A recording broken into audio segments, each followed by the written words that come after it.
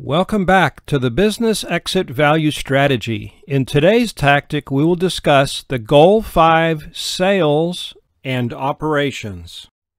This is the Business Exit Value Strategy with one objective, seven goals, and 500 tactics. Statistically, only 25% of businesses continue beyond 15 years, and only 25% of those will sell.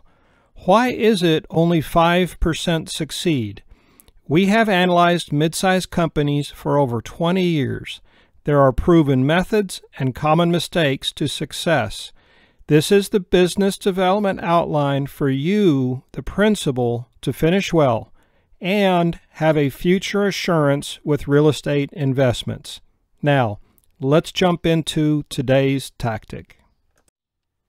The U.S. Coast Guard Auxiliary uses forms, policies, and procedures, but more importantly, beyond data and paperwork, the practice of achieving objective goals and tactics is as important.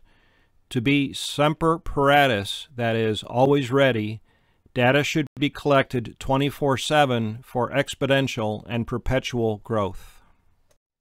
To have situational awareness is as important. Data reports assist with constant improvements and is important information to determine trends and changes in the marketplace.